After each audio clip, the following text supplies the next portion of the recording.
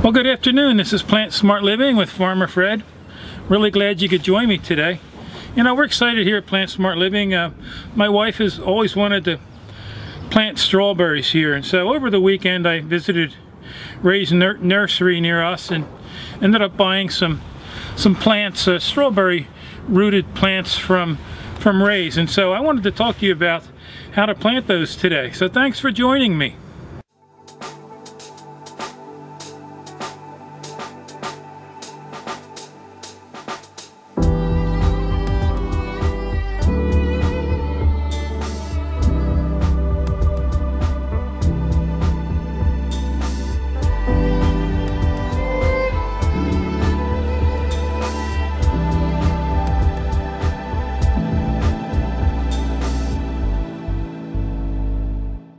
So before we get started actually putting the rooted plants in the soil, I just wanted to take a minute with you and let's just talk about these Earliglow variety.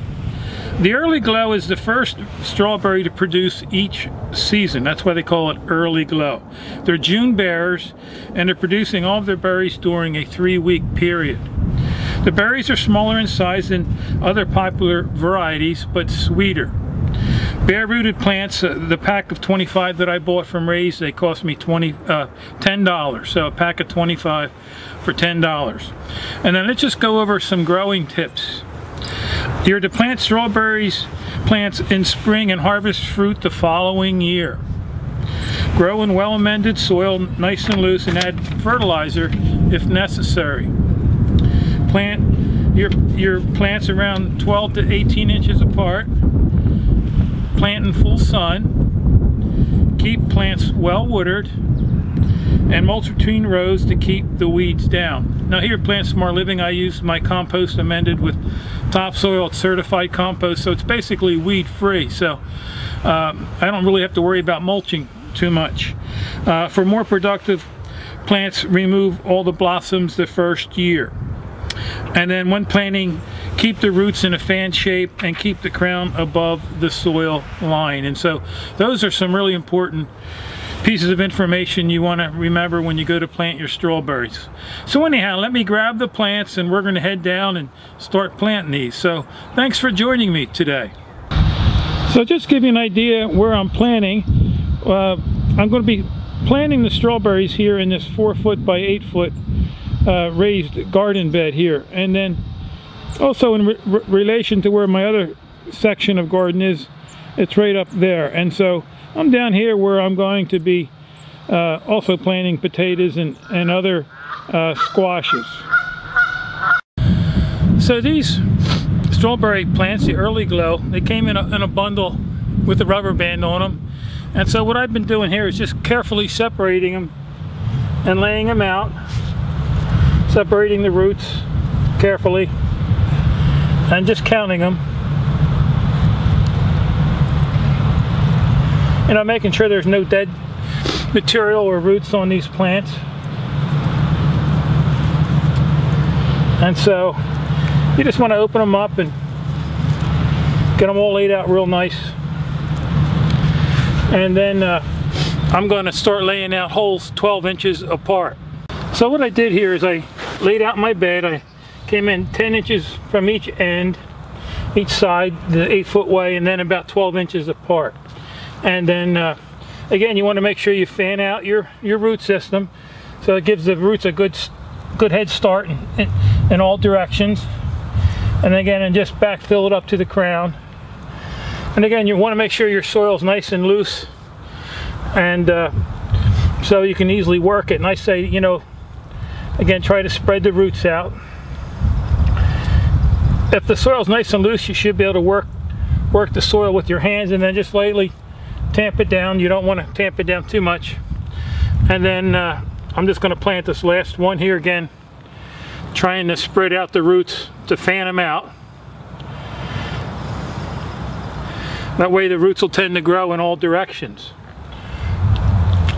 And then just spread them out and then just backfill lightly just tamping down the, the soil.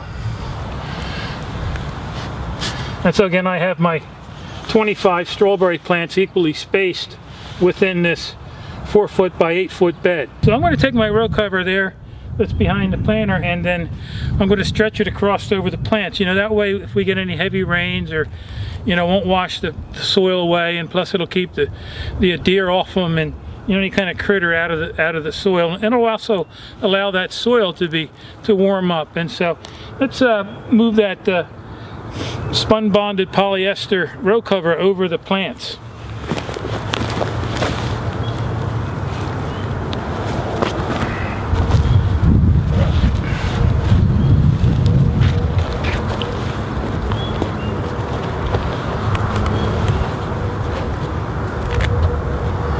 And I have these bricks here.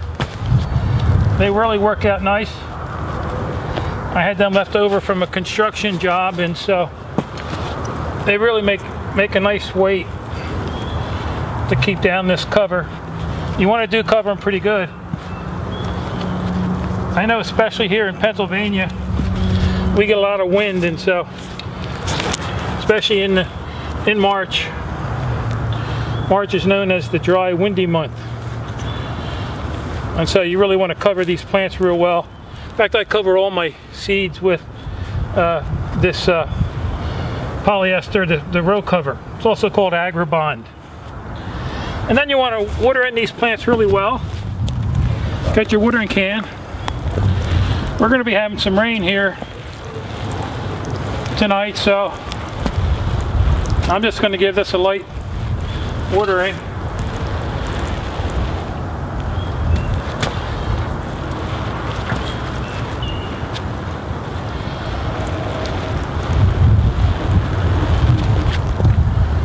And then I, you know, I also have these labels for the plants that I like to use. And so I strawberry the Earliglow. And these homemade labels have been working out real well here in the garden. If you've seen some of my earlier video on how to make these, uh, they really work out great. I also just did a video recently on how to make the labels using a, a laminator. So I'm just gonna put this here in the end of the garden and uh, I'm also going to put a date on it when I planted it. And so there you go. You should be all set. Uh, and again, next year we'll be able to harvest the, the, the uh, strawberries. So anyhow, I just want to thank you for joining me today. And if you have any questions, you know, feel free to leave them in the section below. So until next time, this is Plant Smart Living with Farmer Fred.